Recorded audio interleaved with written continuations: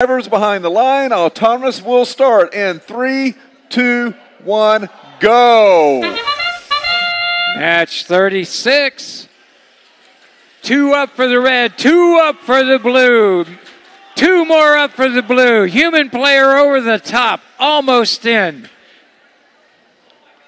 Vector shooting for the Blue Alliance and in.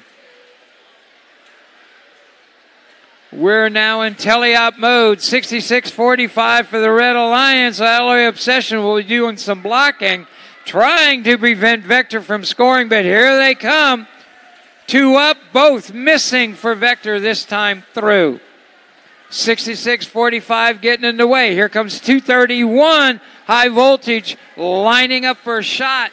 Two coming out of Vector, both going in. Two from high voltage in the lower hub. 24 24 tie score. Vector coming back, shooting again. Two in the top. Opposite, high voltage, two in the bottom. Here comes Vector again, ready to shoot.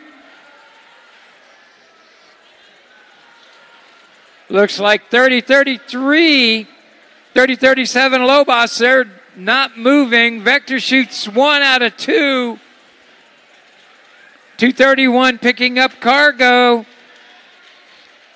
Here comes high voltage, two in the low. Vector into the top for the Blue Alliance. 30 34 with 50 seconds left to go in this match. 81 77 Vector lining up again. They get two in the upper while their Red Alliance, two, 231 high voltage, scores two in the bottom. It's basically going to be a countdown. You get two points for the top, one for the bottom. Can enough lower hub points be scored to offset the scoring in the upper hub? We're down to less than 30 seconds. We've got two in the Blue Alliance that are up. We've got two in the Red Alliance going up. 324 chips is going on the way up. So is Vector. Up goes high voltage. You've got a traverse already from chips.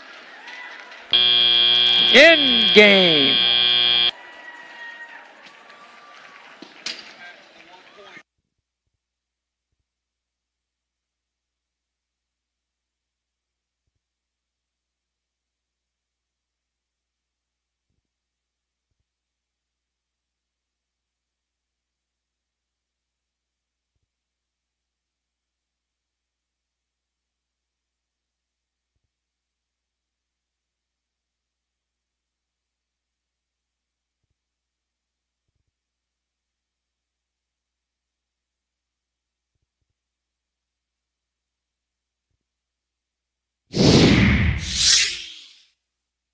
It's a win for the Blue Alliance.